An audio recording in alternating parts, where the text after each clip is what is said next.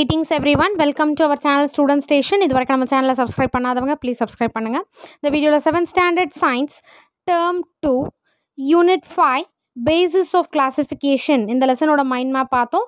நான் consolidation classification of living organisms is made on the basis of their characteristics similarities and differences so living ஆர்கனிசமை எப்படி classify பண்ணுறோம் அப்படின்னா அதோட characters characters wise then similarities அதில் என்னென்ன ஒற்றுமை இருக்குது டிஃப்ரென்ஸ் என்ன இருக்குது அந்த மாதிரி வைஸ் அதை வந்து கேட்டகரைஸ் பண்ணுறோம் ஸோ இதெல்லாம் ஊர்ந்து போகிறது இதெல்லாம் வந்து தண்ணியில் வாழறது ஸோ அந்த மாதிரி கேட்டகரைஸ் பண்ணுறது classification is needed needful to identify living organisms and to study about then conveniently classification எதுக்கு ரொம்ப தேவை அப்படின்னா ரொம்ப நீடட் அப்படின்னா லிவிங் ஆர்கனிசமை பற்றின ஒரு ஸ்டடி நம்ம வந்து லிவிங் ஆர்கனிசம் பற்றி ஒரு ஸ்டடி பண்ணுறோம் அப்படின்னா இது வந்து ஈஸியாக இருக்கும் நமக்கு கன்வீனியண்ட்டாக இருக்கும்.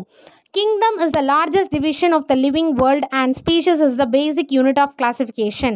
So இதில் வந்து கிங்டம்ன்றது ஒரு பெரிய division living வேர்ல்ட்லே and then basic unit of classification எதுன்னு பார்த்தீங்கன்னா ஸ்பீஷியஸ் ஜீனியஸ் ஸ்பீஷியஸ்லாம் பார்த்தோம் இல்லையா so basic unit of classification is species Kingdom Animalia is divided into two sub-kingdoms.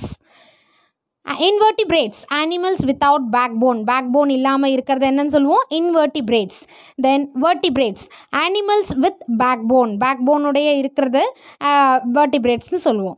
Invertebrates are classified into nine phyla and vertebrates are classified into five classes invertebrate வந்து nine ஃபைலமாகவும் vertebrate வந்து five கிளாஸஸாகவும் classify பண்ணியிருக்காங்க Plants are classified into flowering and non-flowering plants and further classified into groups based on their nature of plant body and fruiting body. So அதே மாதிரி பிளான்ட்டோட classification பார்த்தீங்கன்னா flowering plants and non flowering plants பூக்கும் தாவரங்கள் பூக்காத தாவரங்கள்ன்ற மாதிரி பிரிச்சிருப்பாங்க ரெண்டு டைப்பாக அதே மாதிரி ஃபர்தர் இன்னமும் கிளாஸிஃபை பண்ணுறாங்க ஒரு குரூப்பாக அப்படின்னா அதோட நேச்சர் பிளான்ட் பாடியோட நேச்சர் எப்படி இருக்குது அடுத்து ஃப்ரூட் எப்படி இருக்குது ஒரு ஒன்று ஒரு ஒரு மாதிரி இருக்கும் இல்லையா? ஸோ அந்த மாதிரி ஃப்ரூட்டிங் பாடியை வச்சு ஃபர்தர் கிளாசிஃபிகேஷனும் பண்ணியிருக்காங்க in nineteen sixty nine R.H. Whittaker proposed a five kingdom classification of living organisms.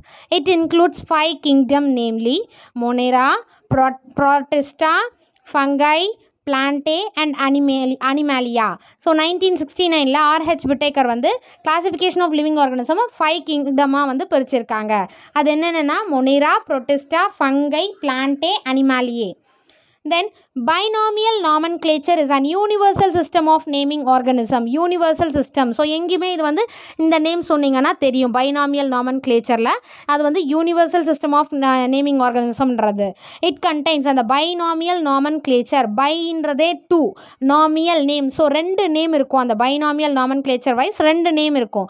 First name வந்து ஜீனஸ் நேம்னு சொல்லுவோம். செகண்ட் நேம் வந்து ஸ்பீஷியஸ் நேம்னு சொல்லுவோம். ஸோ ஜீனஸ் நேம் வந்து எப்போவுமே கேபிட்டல் லெட்டரில் ஸ்டார்ட் பண்ணணும்.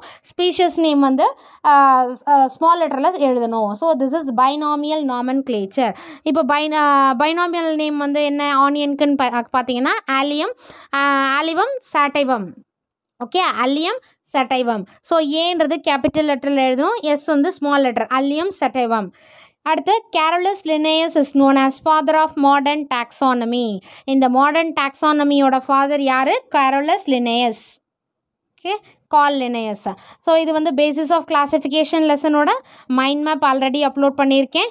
ஸோ இந்த லெசனோட கன்சாலிடேஷன் அது பார்த்துட்டோம். இது புக் பேக் எக்ஸசைஸ் வந்து ரொம்ப லென்த்தாக இருக்க லாங்காக இருக்க கொஸ்டின் சொன்னீங்க. அதுலேருந்து மெயின் பாயிண்ட்ஸ் எழுதுனா போதும். ஏன்னா சில கிளா சில ஸ்கூல்ஸில் வந்து ஃபுல்லாக எக்ஸ்பெக்ட் பண்ணுவாங்க. ஸோ ஸ்கூல் பேசிஸில் அது வந்து வேரி ஆகும். நான் மார்க் பண்ணதில் உங்களுக்கு ஷார்ட்டாக வேணும்னா அதில் இருக்கிற மெயின் பாயிண்ட்ஸ் மட்டும்தான் எழுதிக்கலாம் நீங்கள் நீங்கள் ஷார்ட் லிஸ்ட் பண்ணிக்கோங்க.